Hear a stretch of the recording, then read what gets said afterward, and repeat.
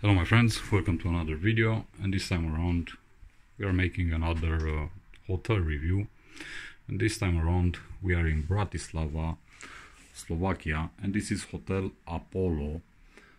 This is a four-star hotel but uh, to my honest opinion I consider this to be more of a uh, three-star hotel rather than four. This is a very Spartan looking camera if you ask me, room actually. Um, you have everything that you need, very clean, very comfy.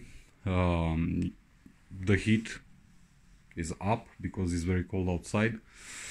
You get uh, satellite TV, free Wi-Fi, all the goodies if you want to make uh, a coffee in the morning.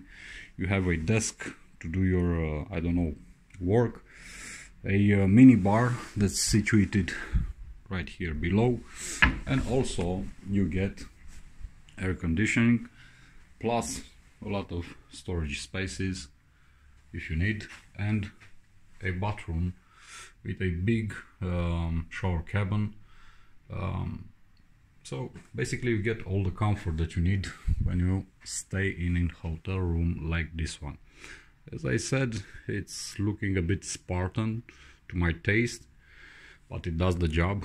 Uh, definitely, that's uh, everything that matters. And um, what can I say? Very nice uh, stuff, very well trained, very clean rooms, very clean hotel. You also get uh, parking spaces, but pay attention, they are not free. You have to pay about uh, 6 euros and 50 for 24 hours and this is the view that you get from this hotel room at least from my hotel room with um,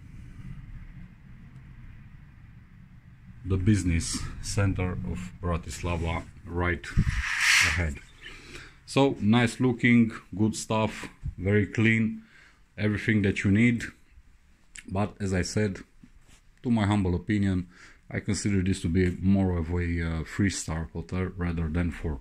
Nonetheless, it is very good, very okay. So if you are uh, passing by in uh, Bratislava or through Bratislava, I highly recommend that you come and sit here. Very good food also, and uh, you get plenty of stuff to do around. Thank you for watching, see you in the next one. Until then, as always, be good.